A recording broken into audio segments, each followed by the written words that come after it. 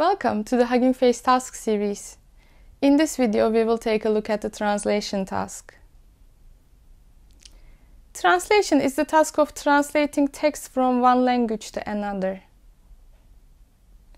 These models take a text in the source language and output the translation of that text in the target language. The task is evaluated on the BLEU score.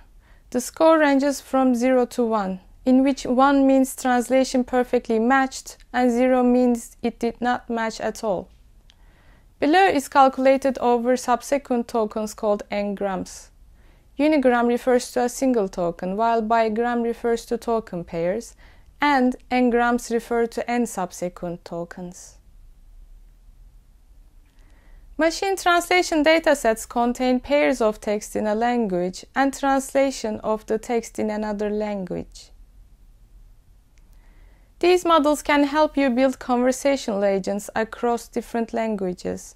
One option is to translate the training data used for the chatbot and train a separate chatbot.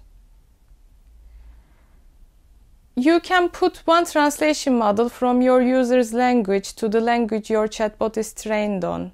Translate the user inputs and do intent classification. Take the output of the chatbot and translate it from the language your chatbot was trained on to your user's language. For more information about the translation task, check out the Hugging Face course.